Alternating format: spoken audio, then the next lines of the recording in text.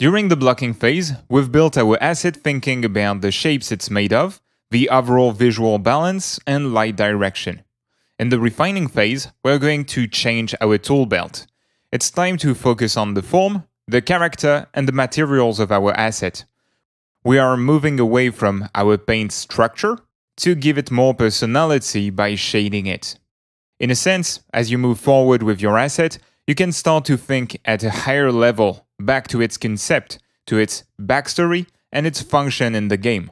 This doesn't mean that you should think hard and with words all the time, though. Thinking with pictures, or just letting yourself fall in a state of flow, what we call in the zone, is powerful too.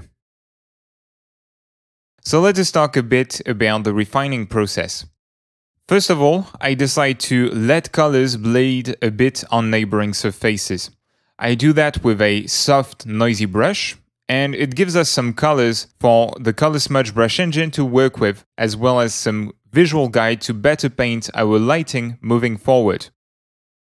The Color Smudge brushes, those with a pink or a purple thumbnail, sample colors from the canvas and mix them with the colors that you pick in the color picker. Thus, it can be useful to add a few tints here and there that we can afterwards play with. I'm going for a painterly style, thus I will use a painterly brush. I approach the refining phase of a painting a bit like sculpting. Early on, each brush stroke is used to carve into the form. I use a pretty sharp flat brush that allows me to give a lot of character to my strokes. With Krita's Color Smudge brush engine, you can add texture to your piece very fast as your strokes both add color and blend naturally with existing colors on the canvas. The base light we added in the blocking serves as a guide to create a more interesting separation between the light and the shadow of our object.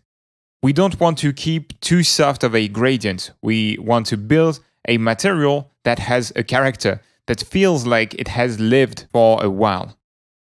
Painting with a dry brush like that gives a lot of local contrast to our game asset. Now we are starting to focus on the details, which means that we are going to have to play a tough balancing act until our asset is done pretty much. We have to detail every part of it, but we mustn't lose track of the big picture. This is something we often fail at as artists, and that regardless of our experience. Just like with programming, with music, with writing, we need peer reviews to express our full potential, but we can't always have them. If you are working alone, I recommend that you then work on at least two different assets throughout the day so that you can bounce between them and have a relatively fresh look on each asset every time you switch documents. You can already see one of the computer's strengths for painting here we easily add dry, sharp details on top of a smooth shading. And in the polishing step, we'll be able to do it the other way around. We'll be able to smooth our dry strokes again with the airbrush and blender brushes. At that point, the bottle's body looks more like the cross-section of a potion rather than a full bottle. The dark background behind the liquid suggests that the bottle is fairly opaque and that it blocks light. This makes it easier to paint the asset as we don't have to bother with refraction. The liquid stays visible and I'll be able to layer in highlights at the end of the process to make it look more like a bottle. This is a constraint that keeping elements separate in your document gives you. On one hand, with many layers, you can work on each material and form separately. On the other hand, Painting the interaction of two materials together, like glass and anything contained inside of it, is a little harder. For that, there's really nothing like the traditional techniques. So past the refining stage, I often either merge layer groups together or add new layers at the top of the stack to paint the details freely. It depends on the project. With this project though, I didn't do it, and you'll see at the end that despite the presence of highlights, the glass lacks a bit of a blurry quality and inner reflections to look like a full bottle. Let's focus a bit on lighting, as to me this is really the most important part of refining a painting. We use lighting to describe our object's form, their color, and their material, so it's really important to think carefully about it. There are three things I want you to pay attention to as they will make the difference between a blonde looking asset and something that feels believable and grounded in its environment. The first one is contact shadow. There is some small, sometimes faint shadow area between two elements that are close to one another. We sometimes call it occlusion shadow as it results from the occlusion of light by two neighboring surfaces.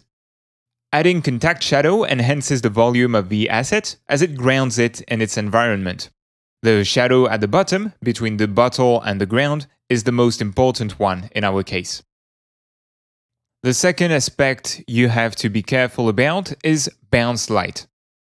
Light bounces around from one element of the scene to the next. That's why you get that color bleed from one material to another. Light rays capture a bit of the color of the surfaces they hit, and they then get reflected and apply the color the next time they land somewhere. In general, the closer two objects are to one another and the more light they receive, the more color bleed you get. Again, the highlight between the ground and the bottom of the bottle gives it that much more volume, but you can find a bit of that reflected light from the ground on everything that's facing down.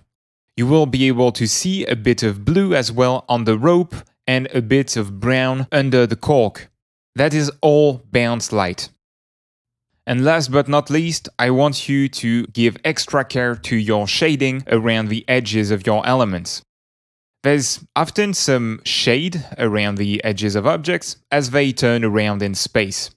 That is due to the fact that the form that's facing more or less away from us also reflects light more or less away from us. That light may hit the object, but it doesn't come to our eyes or to our camera's lens. There is no formula to nail that though.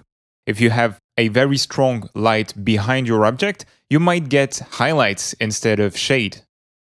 You need to develop a good sense of form and lighting to have a mental model of your object. This is something you learn by painting, observing objects in nature, and looking at reference pictures. And that wraps up the specifics of refining a game asset. Now it's time to move on to polishing.